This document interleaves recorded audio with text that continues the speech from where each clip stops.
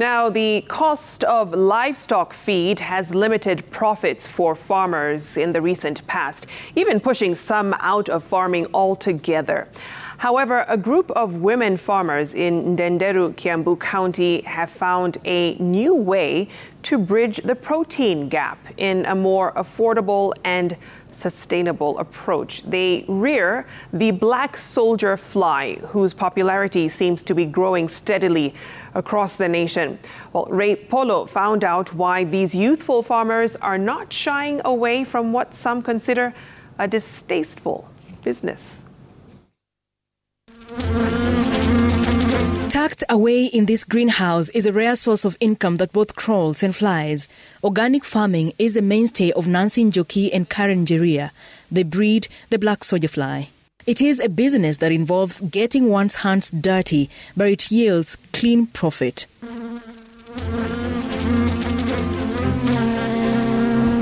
Before we started doing BSF, uh, we are pig farmers. The feeds started going up in prices, and that got us um, interested in wanting to know how do we bridge this gap. The black soldier fly's life begins in these tiny eggs that hatch into larvae through different stages called instars. Instars can be defined as the developmental stage of insects between each molt until sexual maturity is reached. They mature in age and feeding options through the instars until the adult fly lays eggs and dies. The process lasts just days. In the formative instars, the worms are fed on a mixture of maize germ and wheat bran to hatch. In a matter of days, they graduate to a diet of organic waste. The second feeding is now the waste. For example, we could do the home kitchen waste and the pig manure. You mix them, then you weigh them. So you'll weigh around 8 to 10 kgs. That is the second feeding. And then you'll weigh the instar one or two of the larvae around 250 grams. Then you feed them on that feed. This mud like mound seems still, but there is a troop of worms aggressively feeding beneath it. They are enjoying their meal in a concealed space away from hovering predators and adverse weather conditions. The ideal temperature here is somewhere between 25 to 35 degrees Celsius. The warmth propels the worms to speedy growth. The larvae of the black soldier flies keep on burrowing just like any other worm, and this takes them to the depths of the tray where oxygen levels reduce and temperatures rise because of their activity. That is why farmers often have to turn them through and through in the day to ensure that they feed well and that they don't suffocate. You can't afford to just leave your farm and go do whatever it is, and then you come after 14 days, everything will be dead. So it's, it's a farming that you need to put your eye on. This process is a hard one to behold, especially when you consider its effect on the lady's manicured fingers. I remember the day I went for training. I couldn't touch them. I wouldn't even look at them. But the love for the worms has grown with the earnings they yield. For us, we are driven by passion. Number one, clearing the environment, making sure that we farm using organic fertilizers and not the inorganic ways. Uh, and number two, uh, the bag, pesa iko.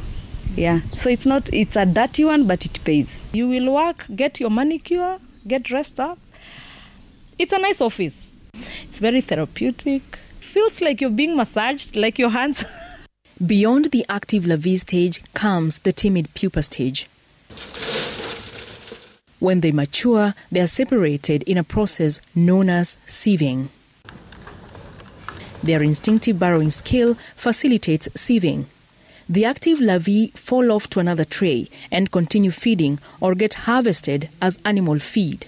The larvae is when we have our optimum protein levels. Penwell Farm produces about two tons of worms every month. You, as a fish farmer, the fresh one will do you much more value than the dried one. We've got a lot of vitamins that will not die during the drying process, yeah, and so many amino acids. So your fish will tend to grow faster. If you're doing it for the market per se, you need now to get into the process of drying. Just put it in water.